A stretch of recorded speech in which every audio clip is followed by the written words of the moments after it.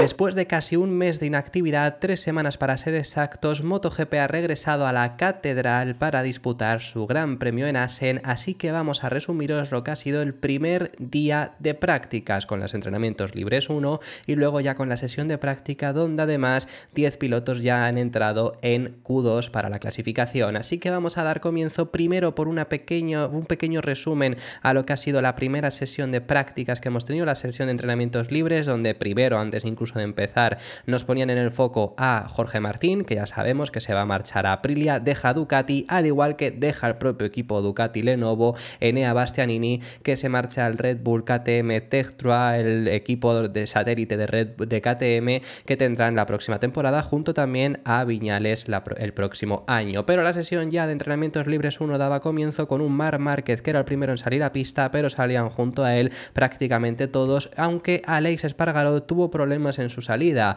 La Aprilia se cayó encima, nada más salir tuvo que regresar a boxes. Vimos aquí como incluso estaba pidiendo que le empujasen para poder regresar y decidió cambiar de moto. Íbamos viendo las primeras vueltas, por supuesto, primeros minutos de sesión y de día, todavía queda muchísimo por bajar estos tiempos, aunque vimos un momento en el que primero Márquez, luego Bagnaya, luego otra vez Márquez y luego otra vez Bagnaya iban liderando la sesión. Después del primer run regresaban con, con Bagnaya, aquí le vemos en novena posición y un primer run donde su, mejor vuelta había sido 1.33.6. Íbamos viendo cómo salía a pista y conseguía bajarlo hasta el 1.32.6, un segundo más rápido. También hacía lo mismo Jorge Martín, que conseguía ir bajando su vuelta. Veíamos cómo Gresini sacaba la moto B, pero no llegó a cambiar la Mar Márquez, que seguía todavía en pista. Viñales, que mejoraba su anterior registro para poner un 1.32. Y nos iban enseñando, porque regresaban los pilotos otra vez a boxes, nos iban enseñando ahora unas imágenes estamos viendo ahora a Mar Márquez, también vemos a Jorge Martín, también vimos en repetición de estas súper lentas a, a, Peco Bagnaya. Les veíamos ya hablando aquí en el box, junto aquí vemos a Jorge Martín y también veíamos a Mar Márquez y regresaban a salir a pista para un último intento. En este caso vemos a Peco Bagnaya, vemos cómo está saliendo Cuartararo y por detrás suya tiene a Mar Márquez. Raúl Fernández conseguía ascender hasta la segunda posición, Cuartararo que también mejoraba, también hacía lo propio Mar Márquez que se ponía en segunda segunda posición y Dillan Antonio conseguía mejorar lo suficiente para ponerse primero a 87 milésimas de Bagnaya y con esto finalizaba la sesión. Veíamos un problema que tuvo Mar Márquez en la anterior vuelta que se había salido en la última chicana, aquí está fuera de pista y al final veíamos que Bagnaya era quien lideraba la primera sesión que habíamos tenido en el día de hoy. ¿Qué es lo que haya pasado? Bueno, pues Dillan Antonio tocó el verde también en la última chicana y esto hizo que le eliminasen su tiempo, así que por eso es por lo que vimos a Bagnaya liderar. Regresaron a salir a pista para hacer las pruebas de salida, pero Peco Bagnaya fue el líder de esta primera sesión. Por cierto, dato, es la primera vez que en un viernes Bagnaya ha liderado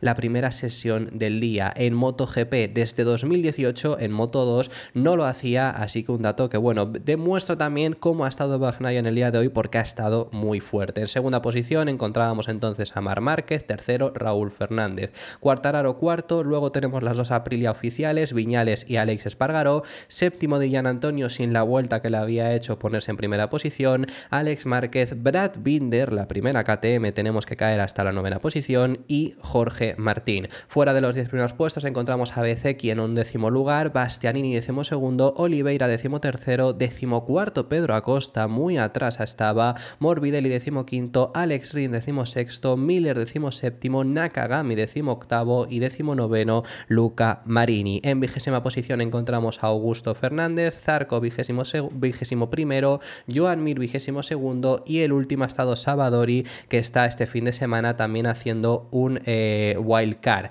Así que ya ahora sí vamos a dar comienzo con la sesión práctica que es la más importante y todos los pilotos nada más se ponía también, se, eh, podía salir a pista, todos los pilotos a pista siguiendo en este caso estamos viendo a Mar Márquez muchísimos pilotos, Joan Mir, Alex Márquez, Morbidelli, estaban siguiendo este tren. Volvíamos a ver problemas de Alex Espargaró, en este caso fue una salida de pista que tuvo y por cierto estaban en Dazón España haciendo una entrevista bastante interesante a Gino Borsoy, que estáis viendo aquí, team manager del Prima Pramac Racing, porque hoy se ha anunciado que se marchan a Yamaha. Se ha anunciado después, aquí ha dicho que iba a haber un anuncio posterior a las sesiones y efectivamente muy poco tiempo ha transcurrido para anunciarse que finalmente son ellos quien dejan Ducati para marcharse a ser un satélite de, Yamaha. Veíamos a Pedro Acosta que ascendía hasta la tercera posición y también veíamos a Bezeki cometer un error, estaba ahí fuera en el guardarrail y ¿qué es lo que haya pasado? Bueno, pues vemos esta repetición donde se iba largo, se iba a la grava y utilizó toda la escapatoria para poder frenar la moto, por suerte no tuvo ningún problema, no se llegó a golpear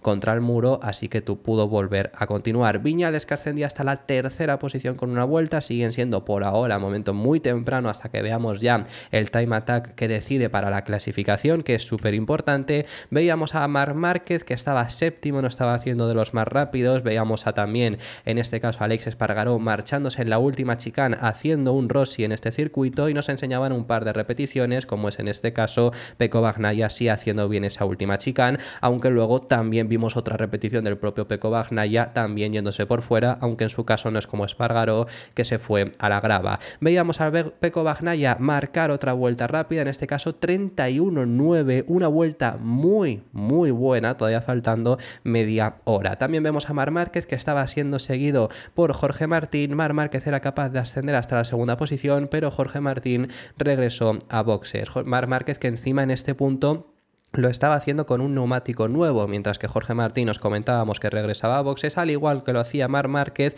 que se empezó a quejar de la moto y se la tuvieron que acabar cambiando porque tenía un problema en el, en el manillar. Mar Márquez que regresaba varios minutos después a pista y lo hacía no solo él, sino que también muchos pilotos salían junto a él. Viñales era capaz de mejorar el tiempo de Peco ya comenzaba el momento del time attack. Vemos a varios pilotos, en este caso Mar Márquez saliéndose fuera de pista, Bagnaya que bajaba aún más el tiempo de Maverick Viñales y vueltón aún mejor el que veíamos del italiano, Joan Mir que cometió un error y se iba fuera provocando una bandera amarilla que frustró bastantes tiempos, vemos a varios pilotos regresando también a boxes en este punto y algunos saliendo como muchos pilotos estaban saliendo por detrás de Peco Bagnaya para cogerle rueda, pero comentaros también en esta fotografía que Jack Miller golpeó a Jorge Martín y esto provocó que perdiese un alerón, mientras el resto de pilotos continuaban, en este caso Martín está por detrás de Pedro Acosta y Martín es capaz de superar hasta la tercera posición. Fijaros en Bagnaya que regresa a boxes, regresa a pit lane porque no quiso hacer un último intento, no le hacía falta realmente con esto. Jorge que conseguía mejorar, también hacía lo propio Alex en este punto y Enea Bastianini que también se iba, se caía y esto provocó una bandera amarilla ya en el cuarto sector, en el tercer sector, perdonad, que esto sí que ya frustró muchísimos intentos porque vemos a algunos pilotos sí que ir cerrando vuelta, Mar Márquez está quinto, Binder cierra en sexta posición, pero por ejemplo Pedro Acosta que venía mejorando no le sirve de nada porque le cancelaron su vuelta por la bandera amarilla. En los últimos minutos, eh, a este caso es Alex Espargaró, también se cayó, esto es en la última chicane, provocando otra bandera amarilla que ya por tanto sí que frustró todos los intentos menos de un Maverick Viñales que sí que estaba por delante y cerró vuelta para mejorar en segunda posición. Alex Espargaró que estamos viendo aquí fuera, vemos a pilotos que cerraban su vuelta pero ya le ponía vuelta cancelada por esa bandera amarilla, como es el caso de, por ejemplo, alguien que le perjudicó bastante, que es BCX, que cae en decimosegunda posición. Y por tanto, Bagnaya, después de liderar los libres 1, también lidera la sesión de prácticas en un día que ha estado imparable. Incluso con el tiempo que llegó a marcar, marcó ya el récord de la pista, que este año estamos viendo a muchos pilotos en prácticamente todos los circuitos, se está marcando el récord de la pista por los neumáticos, pero bueno, ya lo consigue marcar desde el viernes un Peco Bagnaya que se ha mostrado súper fuerte aquí ya desde el viernes, liderando libres 1, liderando sesión de práctica, veremos qué es capaz de hacer mañana tanto en la clasificación como en la propia carrera al sprint. Segundo ha finalizado Maverick Viñales, tercero Alex Márquez, cuarto Alex Espargaró, quinto Jorge Martín, sexto Mar Márquez, séptimo Brad Binder como única KTM que se ha metido ya en Q2, Enea Bastianini octavo, Raúl Fernández noveno y Franco Morbidelli en décima posición. Ya los pilotos que no se clasificaron para Q2 y solo recordad que pasan dos en la sesión que tendremos en Q1 son Fabio Cuartararo que se queda a las puertas en un décimo lugar, décimo segundo BCX, décimo tercero Dillana Antonio, las dos VR46 caen, Alex Rins décimo cuarto, decimoquinto Pedro Acosta, cuidado que no pueda ser un fin de semana donde salga muy atrás, Oliveira decimosexto, Zarco decimoséptimo, Jack Miller decimoctavo, Nakagami decimonoveno, encontramos en vigésima posición a Sabadori, no ha sido último el del Wild Card, los últimos han sido, vemos ya los dos, las dos ondas, Augusto Fernández vigésimo primero y ya las dos últimas posiciones, Joan Mir vigésimo segundo y Luca Marini en vigésimo tercera posición. Este ha sido el resumen al primer día que hemos visto del Gran Premio de Países Bajos. Dejadme en los comentarios vuestras impresiones si creéis que Peco Bagnaya será capaz de mantener el ritmo que ha mostrado en este momento mañana, también en la propia clasificación y en la carrera de sprint. Es un circuito que se le da muy bien, así que será capaz de conseguir mantenerlo o podrán ponerle bajo presión a algún otro piloto. Dejadme en los comentarios que estaré encantado de recibirlos. Si te ha gustado el vídeo, deja tu me gusta, suscríbete y te recuerdo que tenemos activa la de miembros. Nos vemos en el siguiente vídeo.